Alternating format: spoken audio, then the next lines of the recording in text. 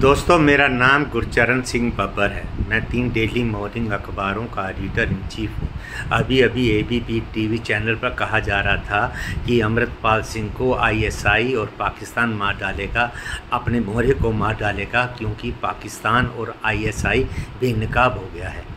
कुछ दिन पहले तक ये पिछले पंद्रह दिन लगातार कहते रहे हैं, अमृतपाल सिंह पाकिस्तान का एजेंट है आईएसआई का एजेंट है, ये वहाँ से हथियार लेकर आया है, इसको फंडिंग होती है, ये खालिस्तान बनाएगा, ये देश को टुकड़े करेगा, और बार बार ये कह रहे थे, ये फरार है, ये नेपाल पहुँच गया, दिल्ली पहुँच गया, हरियाणा पहुँच गया, ये बार बार कह रहे थे। अब ये कहते हैं कि पाकिस्तान इसको मार डालेगा।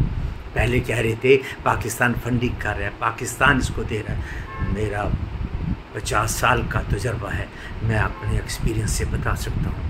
अमृतपाल सिंह को मार डाला गया है। ये कहानियाँ बना रहे हैं, ये सिर्फ़ कहानियाँ सुना रहे हैं। एबीपी चैनल के सूत्र आईएसआई में कैसे हैं? एबीपी चैनल के सूत्र पाकिस्तान में कैसे हैं?